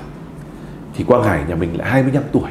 Vâng. thì đấy là một cái rất là khó Chuyến đi vừa rồi anh đi tổng cộng bao nhiêu nước, kéo dài bao nhiêu ngày? Và thật sự anh đã làm việc với tổng cộng bao nhiêu câu lạc bộ? nếu mà làm việc online thì anh phải làm việc với vừa với câu lạc bộ vừa với các team agency nhá. Vâng. thì anh nghĩ rằng chắc phải 20 câu lạc bộ ạ. 20 câu lạc bộ còn agency thì anh phải làm việc với khoảng 30 người. À 30 team. Tức là agency thì họ có Ừ, những cái team của họ nó giải khắp nơi thì khoảng khoảng gần đấy thì phần nhiều ấy là em biết là trong cái thời thời gian vừa rồi nó là một, một cái thời gian rất là ngắn đúng không? Nó không hề dài mà loại vướng covid năm ngoái khi mà anh anh tham gia chống dịch cùng với thành phố Hồ Chí Minh xong thì cũng là hết tháng 10 xong lại còn câu chuyện đi miền Tây rồi các thứ thì thực ra cái những cái những cái việc mà anh làm thì cho đến lúc Hải đặt bút ký nó trong vòng khoảng 6 tháng. Đấy thì phần nhiều là làm việc online. Thì khi mà mình có rất tất cả những cái lời mời đó nhá thì mình sẽ phải sẽ phải tập hợp lại và mình sẽ phải cân nhắc. Đâu là một cái lời mời nghiêm túc đâu là một cái câu hỏi ờ, để gọi là gọi là tìm hiểu đúng không? Nhưng mà mình cũng thể bỏ được bởi vì có những cái câu hỏi câu hỏi đó thì nó lại làm biết đâu lại mang đến những cái kết quả lớn thì sao sao mình biết? Vâng. đấy thì anh phải làm việc với tất cả các team online này. Ờ, qua qua WhatsApp qua Viber qua video call rồi Ờ, có những lúc anh khi mà anh gút lại được anh gút lại được khoảng độ 5, 6, 7 câu lạc bộ mà anh tin rằng có cái sự nghiêm túc ở trong đó thì anh bắt đầu anh đi. Anh đi thì nó có rất là nhiều cách. Ví dụ như là ờ, với một câu lạc bộ của Áo thì từ cuối năm ngoái thì đến đầu tháng 2 là gần như là đã xong hết rồi. Và sau sau cái chuyến đi đó thì đã thỏa thuận với nhau hết rồi. Nhưng mà anh vẫn chưa chốt.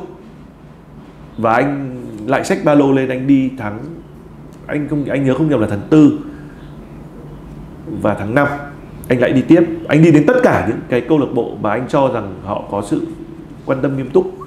Và anh làm việc trực tiếp với họ làm việc trực tiếp với các các uh, agent uh, có liên quan làm việc trực tiếp với lãnh đạo câu lạc bộ với ban huấn luyện để cuối cùng mình sẽ có từ 6 7 8 đội mình sẽ rút lại chỉ còn 3 đội thôi. Đúng không? Và ba đội đó lúc đấy mình tập trung tổng lực để mình để mình làm việc với họ. Thì cũng như em vừa hỏi là cái câu chuyện với Po là có phải là một cái ngả rẽ không? Hoàn toàn không. Câu chuyện Po là là cái context đầu tiên để mà để mà dẫn đến Po là đã làm việc từ tháng 12 năm 2021 Vâng.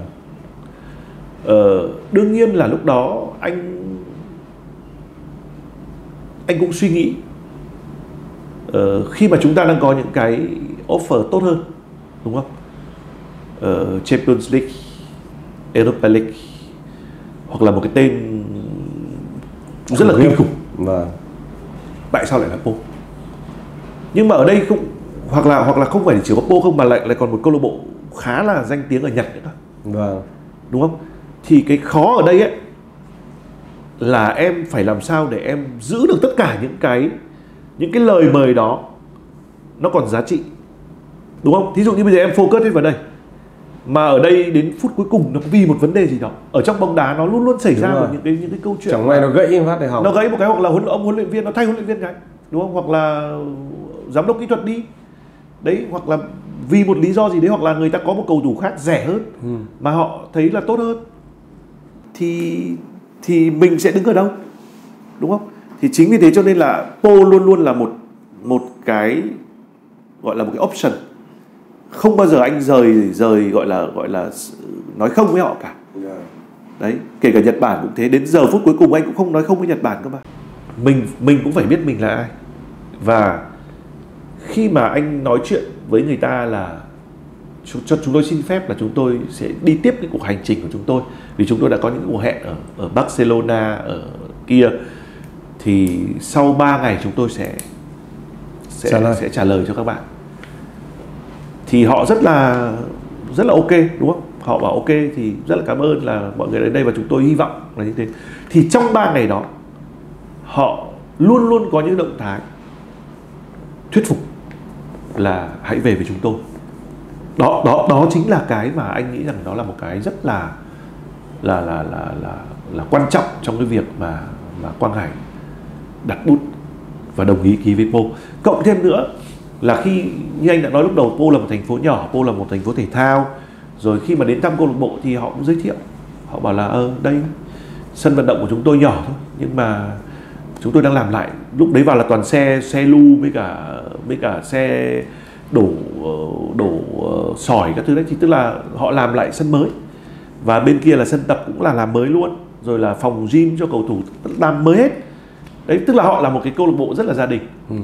đó thì thì thì và sau đó thì dĩ nhiên là là có những cái sự phân tích như anh nói lúc đầu là của những cái chuyên gia về thể thao ấy.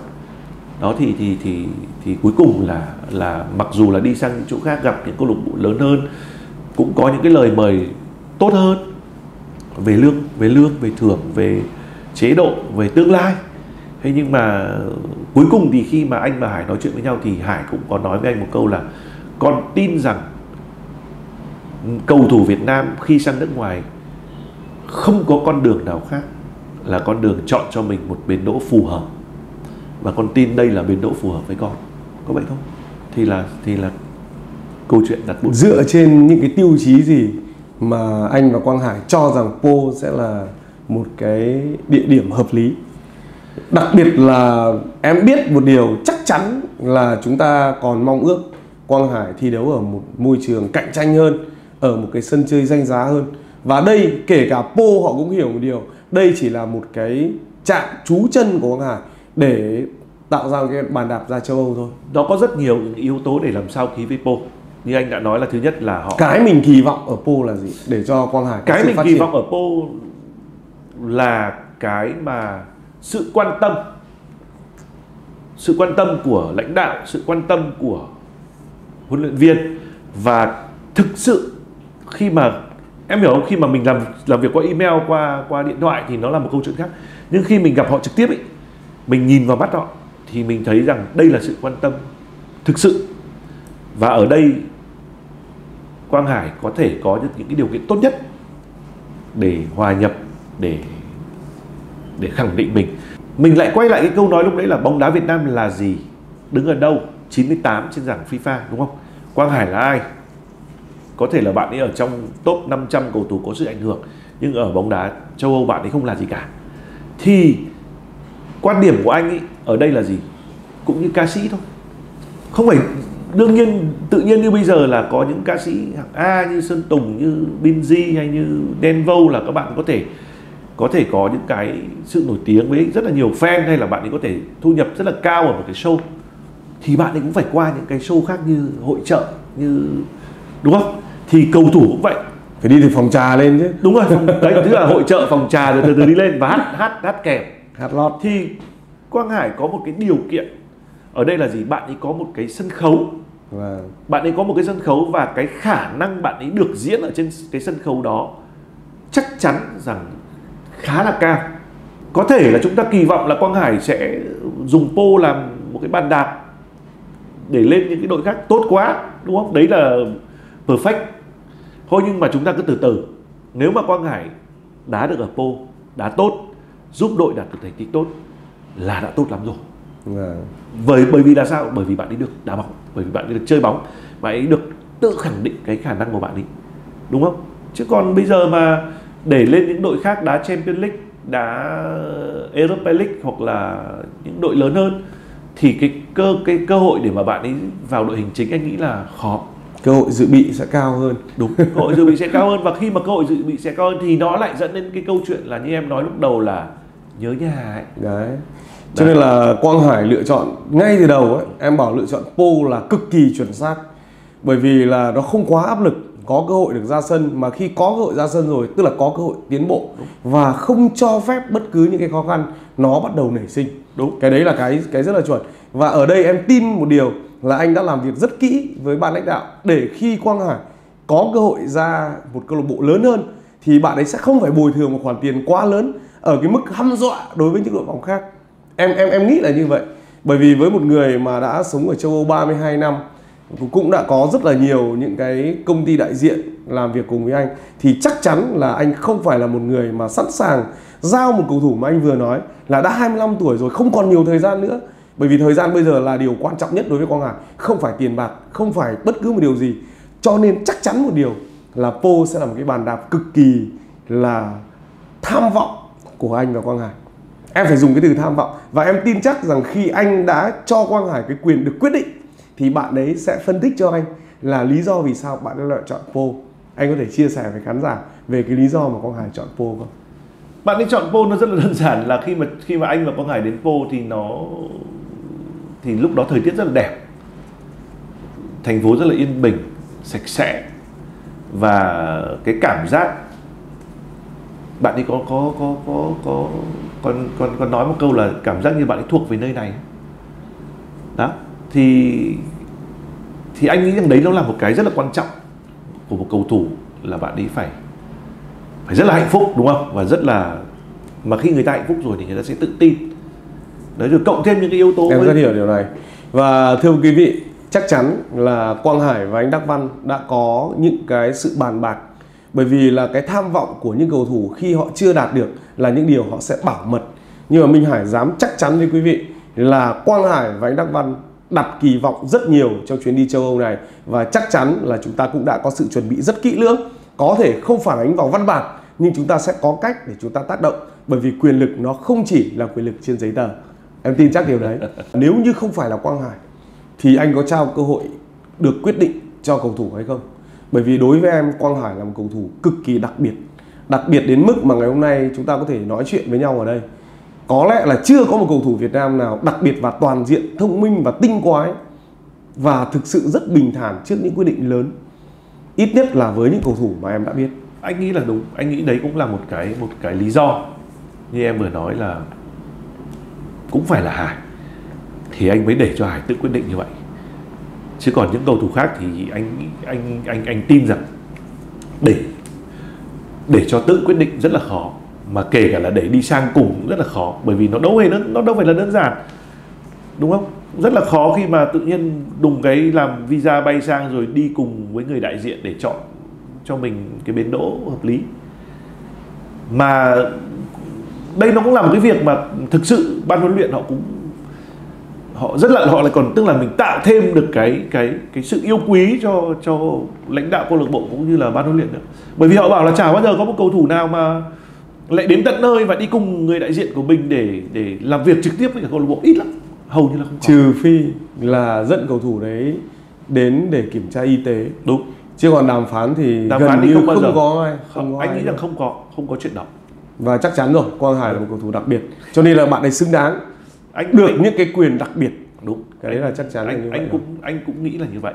Và anh anh tin rằng khi mà khi mà bạn ấy đã có cái quyền quyết định ở trong tay mình ấy, thì bạn ấy sẽ tự tin hơn rất là nhiều.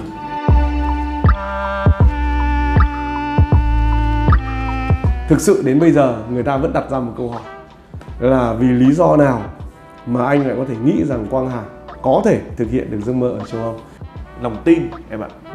Lòng tin rằng rằng Quang Hải nói riêng và bóng đá Việt Nam nói chung nếu mà chúng ta thật là kiên định thật là kiên trì chúng ta cố gắng hết sức thì thì mới làm được. Và cộng thêm nữa rằng anh nói thật sự anh là một người rất là yêu nước.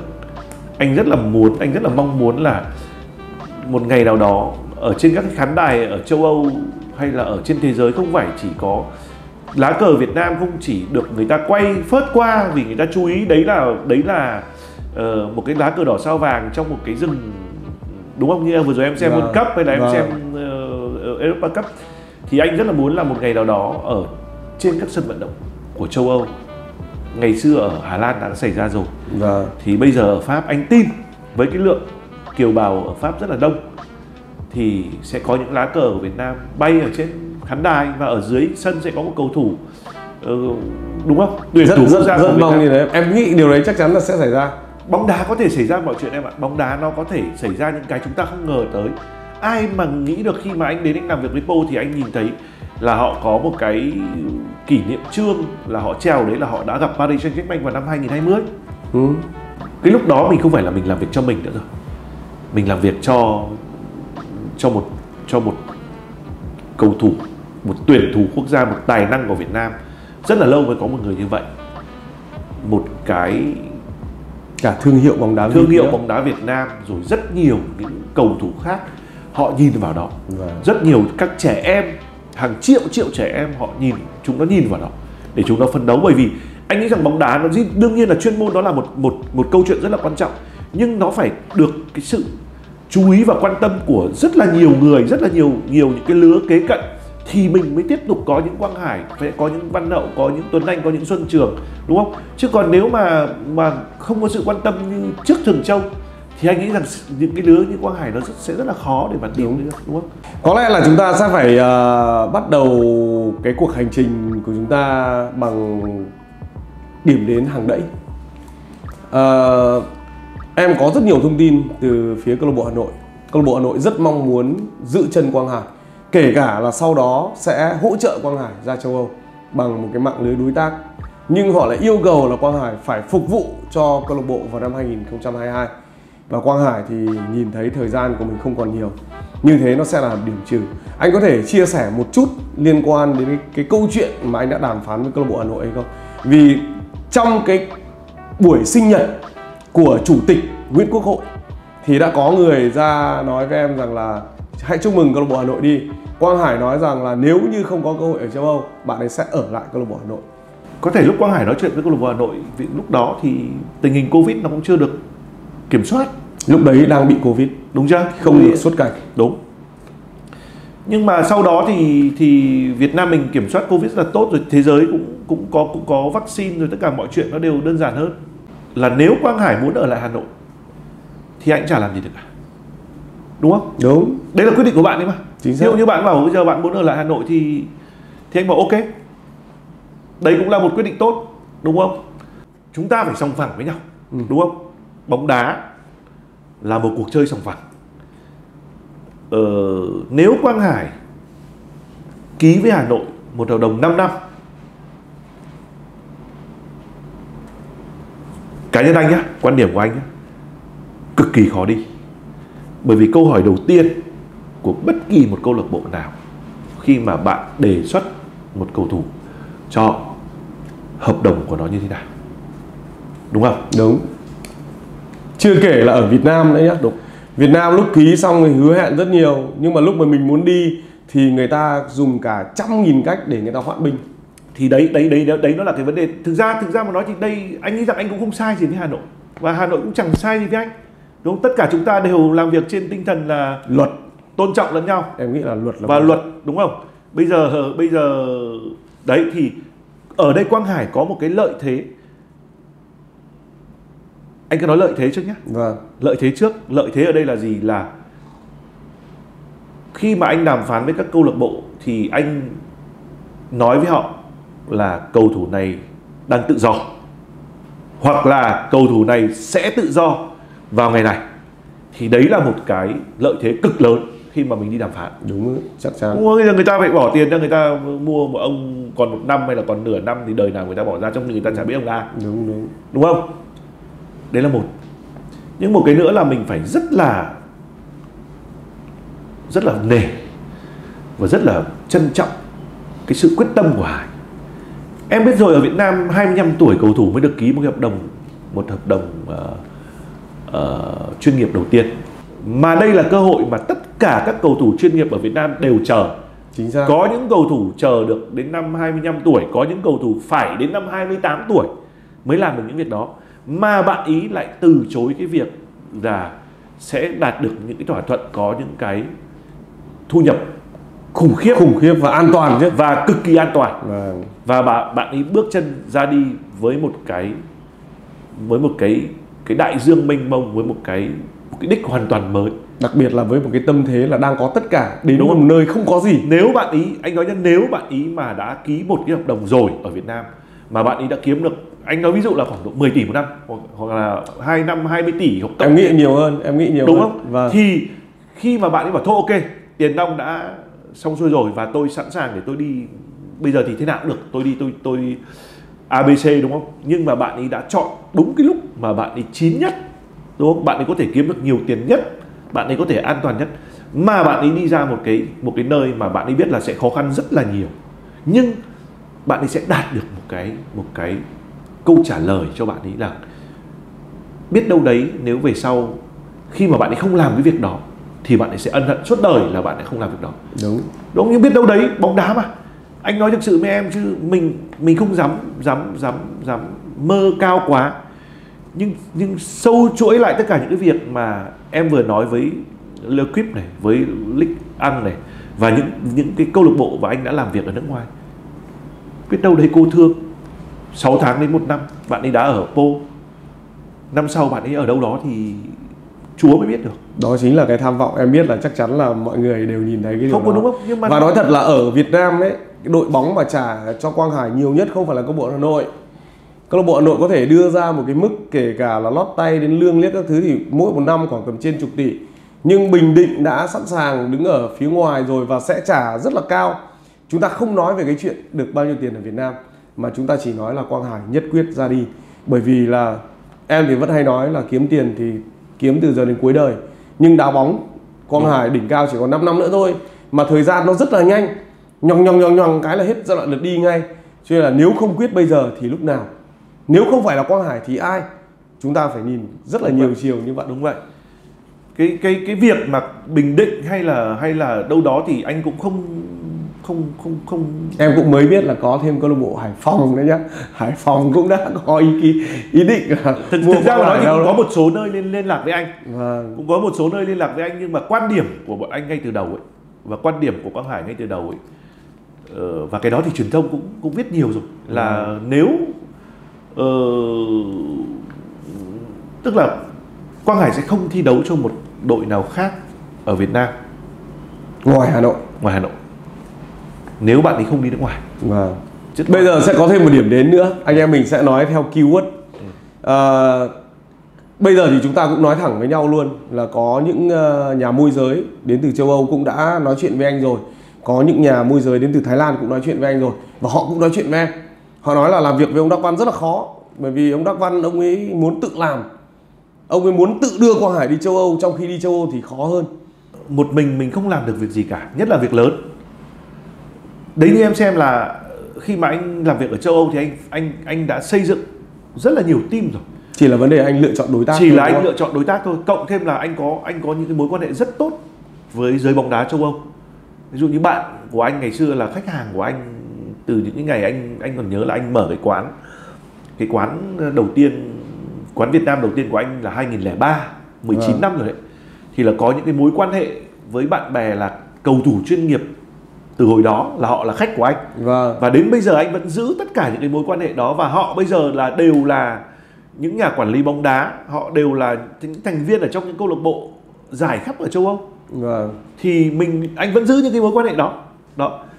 Thì như em nói là nếu mà Quang Hải đi nhất là đi áo nhá. Anh nói nếu mà Quang Hải mà đi áo thì Quang Hải sẽ được một sự hỗ trợ khủng khiếp anh tin là nó còn kinh khủng hơn ở ở, ở Pháp bây giờ. Bởi vì bên áo anh có anh có quen một ờ, một gia đình một người anh là Việt kiều bên áo. Thì cái mối quan hệ và cái sự ảnh hưởng của gia đình anh ấy ở ở Viên nó là khủng khiếp. Và có thể nói thì người Việt Nam mình không biết đâu nhưng mà nó là khủng khiếp. Vâng. đấy. Thì họ sẵn sàng là họ nói là nếu mà Quang Hải sang đây là là sẽ là người con trong gia đình họ. Và mà em có thể tưởng tượng là khi mà anh đi anh làm việc với các câu lạc bộ của áo nghe đến tên gia đình đấy là ai cũng biết Vâng. là em hiểu. Danh gia vọng tộc đấy. Vâng. khủng khiếp đấy. Đấy. Và đấy thì đấy là một hay là sang thụy sĩ cũng vậy. Anh cũng có những mối quan hệ rất tốt. Đức thì không phải nói đức thì là chỗ anh ở thôi Vâng. pháp. Ấy nhưng mà như em cái câu chuyện vừa nói với em thì mình mình biết mà thái đúng không? Thì thái lan họ cũng đưa những cái offer rất tốt.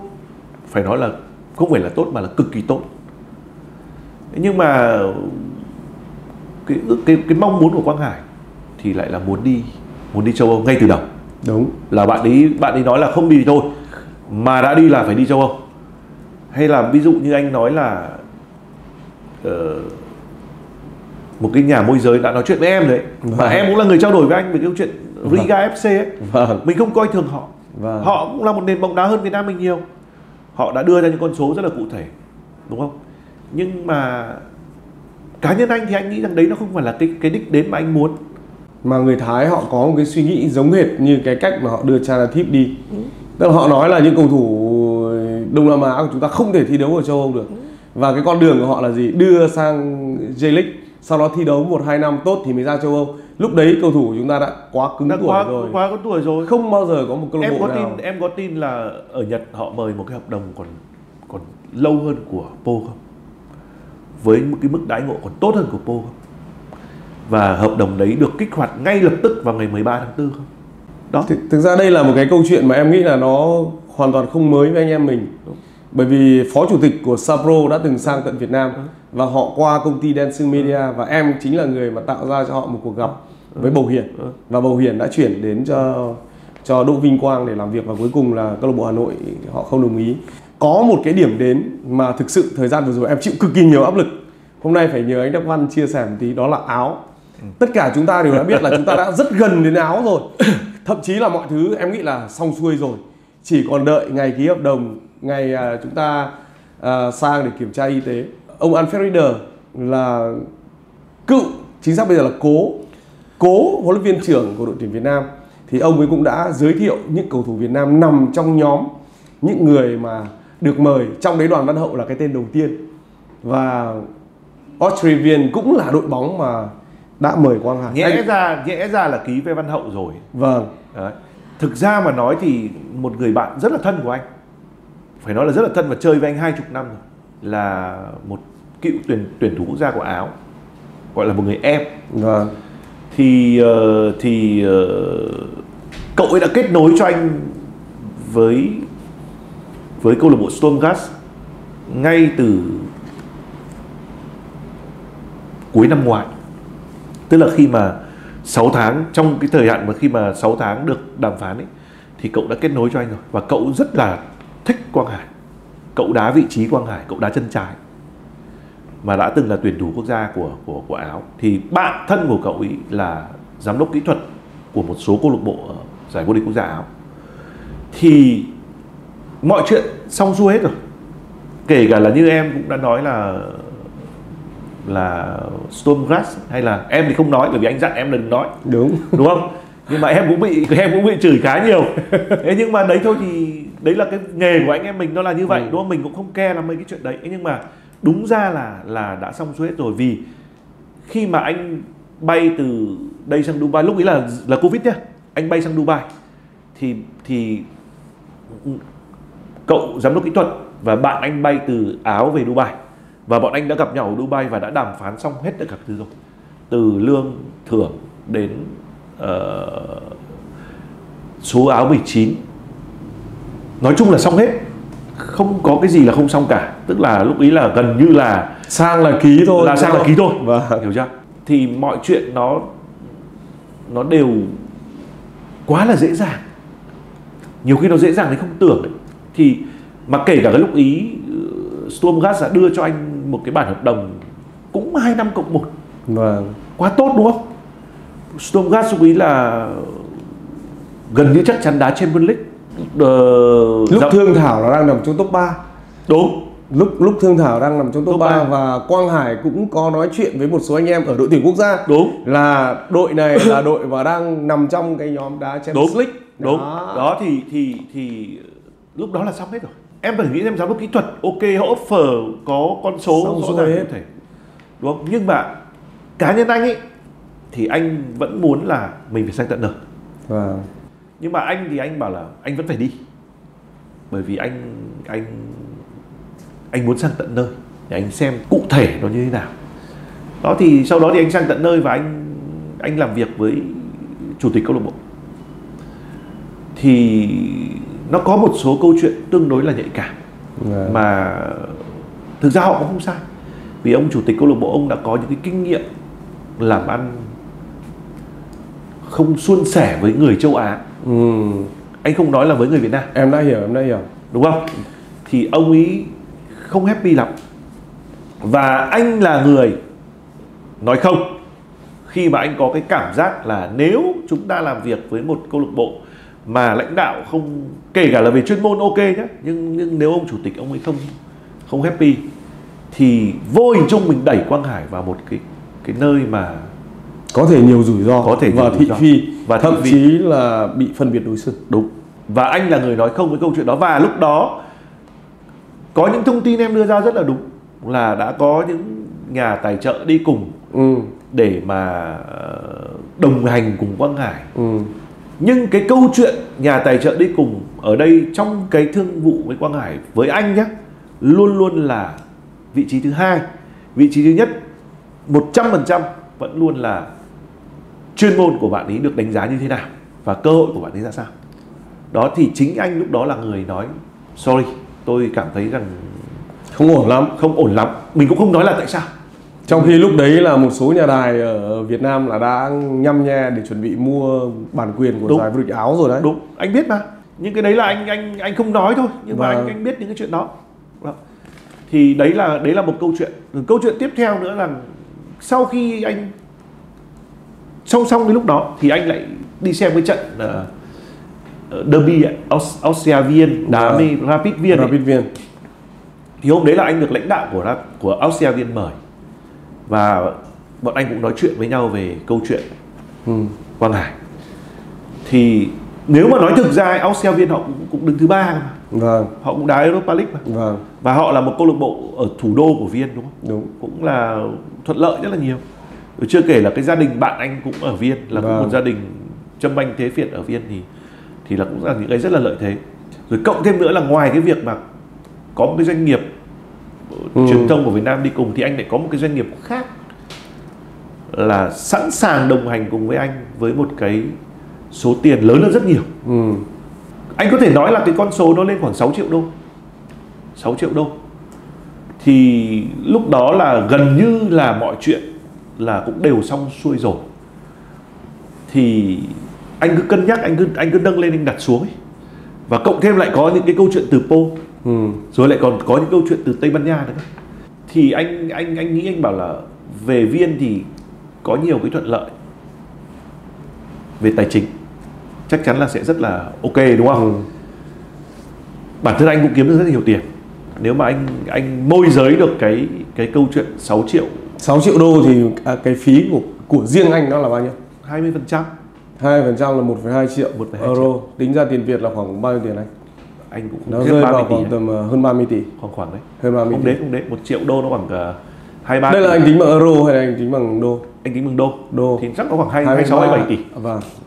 Đấy thì- soát 30 tỷ. Đó. Thì nhưng mà cuối cùng thì anh quyết định không? Anh nói không. Ở Austria Viên anh thấy rằng ờ, khi mà đội họ được đá Europa League thì cái đội hình họ rất là dày. Đúng rồi. Đúng không? Cạnh Cộng tranh cộng thêm nữa được sự cạnh tranh rất là lớn. Anh cảm giác như là cái số tiền đó nó sẽ đè lên cái Áp đôi, lực. cái áp cái đôi vai của Quang Hải và cái đôi chân của Quang Hải khi Ừ. mà khi mà bạn ấy phải đá bóng ở đấy. Có thể có thể nhé một hai ba năm nữa. Kể cả 20 triệu nó đè lên cũng không là cái gì cả. Ừ. Ronaldo bây giờ tỷ đè lên cũng vấn đề đâu. Đúng đúng đúng. Đúng? Nhưng ngay thời điểm đó nếu cái số tiền đó, Mặc dù nó là tài trợ, Nhưng mà tài trợ người ta cũng phải, Người ta đâu có bỏ tiền không ra cho cho em. Người ta đỏ ra, người ta phải muốn có cái gì chứ, Đúng không? Thì lúc đó cái áp lực Mà đè lên đôi vai của bạn ấy, Nó quá lớn. Nếu bạn ấy Thuận lợi nhá, Tất cả mọi chuyện đều tốt. Không sao, đúng không? Nhưng nếu không thuận lợi, bạn ấy đâu phải chỉ có đối đầu với với về chuyên môn. Còn nhà tài trợ. Còn fan hâm mộ nữa chứ. Thực sự là em thấy những con số thực sự khủng khiếp. Với anh nó rất là khủng khiếp. 6 triệu đô cho bản hợp đồng với Quang Hải. Nó thực sự khủng khiếp. Với anh nó với anh nó cũng rất là khủng khiếp mà em phải nghĩ rằng và anh từ chối một khoản tiền gần 30 tỷ em nghĩ là cũng khó. Nhưng chưa anh, thấy ai anh, anh từ chối trong cái, trong cái lúc anh mất hết mà. Anh từ chối trong lúc trong túi anh không có một xu anh bị mất cắp mà. Anh vừa bị à, anh đi từ bỉ sang pháp từ đúng bỉ không? sang pháp anh đi từ đức sang pháp qua bỉ anh bị mất cắp. Ừ. mà cái lúc đó là lúc anh từ chối. Không ví không ờ, hộ chiếu. Không. 20% pin trong điện thoại. hai phần trăm pin điện thoại cũ. Cũ. điện thoại mới mất. Ờ, không bằng lái xe. Không bằng lái xe tức không là gì anh cả. không có một cái gì anh không có một cái gì hết. Và từ chối một khoản tiền và phí từ hoa chối hồng. Nếu nếu Nếu mà thông làm qua. việc đó và thông qua. Với giá và 30 lúc đó là thực ra mà nói thì đã bật đèn xanh hết rồi câu trả lời cuối cùng là không. Một lần nữa em à, khẳng định luôn đến bây giờ sau khi nghe hết câu chuyện của anh thì đúng bản hợp đồng của Quang Hải hoàn toàn là bản hợp đồng chuyên môn. Thêm một keyword nữa. Ừ. Atlético Madrid. Câu chuyện này không thể không nói. Có lẽ là không ai dám tin một cầu thủ Việt Nam có thể nằm trong tầm ngắm của Atlético Madrid. Anh có thể giải thích một cách kỹ lưỡng cho tất cả mọi người hiểu tại sao lại có cái tên Atlético Madrid và cái con đường để người ta sử dụng Quang Hải sẽ là như thế nào? Thực ra Atletico Madrid là một câu chuyện hoàn toàn có thật bởi vì anh cũng chẳng điên mà anh đi anh nói phét ra để cho người ta chửi anh làm gì đúng không? Nhưng mà anh anh nghĩ rằng trước khi người ta chửi thì người ta cũng phải thực sự hiểu cái câu chuyện này nó là như thế nào. Khi mà anh nói chuyện với câu chuyện về Atletico Madrid thì không phải một mình anh ngồi đó Vâng. mà là có cả Quang Hải cũng ngồi đó. Tất cả chúng ta đều tin nhau rồi. đúng không? Bây giờ em chỉ quan tâm đến cái vấn đề là Atlético Madrid đã đưa ra lời đề nghị với mình như thế nào và họ có cái kế hoạch sử dụng Quang Hải như thế nào nếu chúng ta ký hợp đồng với Atlético Madrid. khi làm việc với với với Atletico Madrid thì anh có làm việc với một team ở Thụy Sĩ Vâng. cũng là team cũng là team một Việt kiều Ừ. cô bé đấy là lấy một anh chồng người Ý nhưng mà sống tại Thụy Sĩ và anh chồng này thì cũng đã làm việc rất là nhiều trong giới thể thao ngày xưa anh cũng là cầu thủ Vâng đó thì là cũng có những mối quan hệ qua lại thì rất là nhiệt tình. Thì sau khi anh anh anh anh qua bên đó thì thì anh và họ gặp nhau. Và họ nói là thôi bây giờ chúng ta cứ đi Barcelona đi để chúng ta gặp cái đối tác của họ ở bên đó.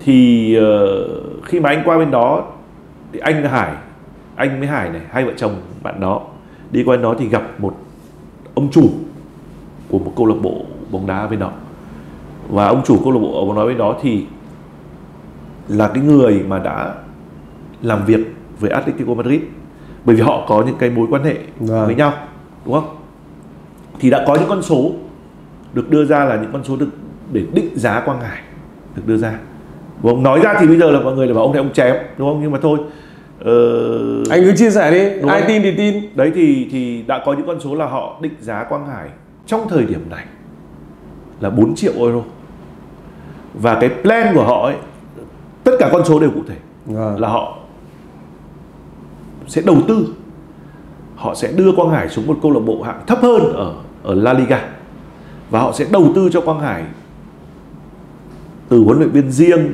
cho đến tất cả những cái gì mà Quang Hải cần để sau đó một năm họ có thể chuyển nhượng Quang Hải đi một câu lạc bộ một nếu mà Quang Hải tốt đúng với cái mà mà họ muốn thì họ sẽ đưa về Atletico Vâng. còn không có thì họ sẽ chuyển nhượng với cái giá mà họ sẽ có lời Vâng. bao nhiêu thì cái chuyện đó anh không biết nhưng ở đây là có con số đã có con số về lương thưởng được đưa ra đã có con số về lộ đã có những cái về lộ trình Vâng. rồi đã có những con số về định giá đã được đưa ra đó thì đây anh cũng anh bảo là đây anh cũng đã chuẩn bị để cho em xem ví dụ như có những cái mà mà nhiều khi mình mình mình nói ra thì nó khó nhưng mà em đọc đi